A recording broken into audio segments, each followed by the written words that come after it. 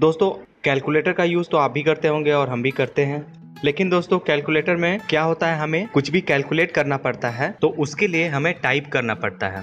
लेकिन दोस्तों, आज आपको मैं इस वीडियो में ये बताने वाला हूँ कि आप कैसे अपने वॉइस से मतलब कि आवाज़ से कैलकुलेट कर सकते हैं। टाइप करने के बजाय बस आप बोल देंगे और वो ऑटोमेटिकली कैलकुलेट करके आपको रिज़ल्ट बता देगा। तो ये कैसा एप्लीकेशन है, कैसे वर्क करता है तो ये जानने के लिए वीडियो को लास्ट तक देखें, क्योंकि इस वीडियो में मैं आपको सब कुछ बताने वाला हूँ। तो दोस्तों, ये एप्लीकेशन काफ़ी कमाल का एप्लीकेशन है। अगर आप इसमें कुछ भी बोल देते हैं मतलब कि आपको अगर कुछ कैलकुलेट करना है और आपके पास अगर समय बहुत कम है तो आप बहुत आसानी से इस एप्लीकेशन का यूज़ करके कैलकुलेट कर सकते हैं। बस आपको इसके लिए इस एप्लीकेशन को ओपन करना है और जो भी कैलकुलेट करना है, आपको सिंपली वहाँ पे बोल देना है। और इस एप्लीकेशन का लिंक मैं आपको डिस्क्रिप्शन में डाल दूँगा। आप वहाँ से डायरेक्ट क्लिक करके और इस एप्लीकेशन को इंस्टॉल कर सकते हैं। इस एप्लीकेशन का नाम है वॉइस कैलकुलेटर तो इसे ओपन करने के बाद आपको कुछ इस तरीके का इंटरफेस नज़र आएगा। तो इस एप्लीकेशन को खोलने के बाद आपको यहाँ पे वॉइस कैलकुलेटर पे क्लिक करना है। और जैसे इस पर क्लिक करेंगे तो हमारे सामने एक कैलकुलेटर का इंटरफेस खुल जाएगा। तो तो यहाँ पे आपको सिंपली माइक के बटन पे क्लिक करना है। और जो भी कैलकुलेट करना है, आप सिंपली यहाँ पे बोल दीजिए। Two minus four.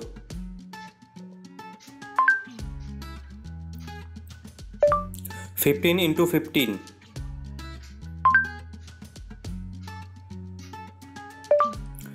2354 minus 5.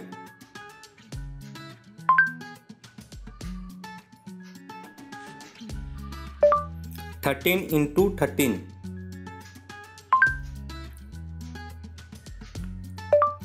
Four into five.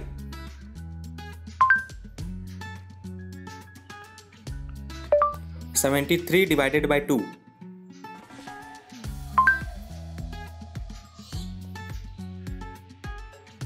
तो इसी तरीके से दोस्तों आप इस एप्लीकेशन का यूज़ कर सकते हैं और ये काफ़ी अच्छे तरीके से वर्क करता है एप्लीकेशन और अगर आपको कैलकुलेशन करना पड़ता है तो ये आपके लिए बहुत ही इजी और अच्छा एप्लीकेशन है और आप इस एप्लीकेशन से अपना बहुत सारा समय बचा सकते हैं।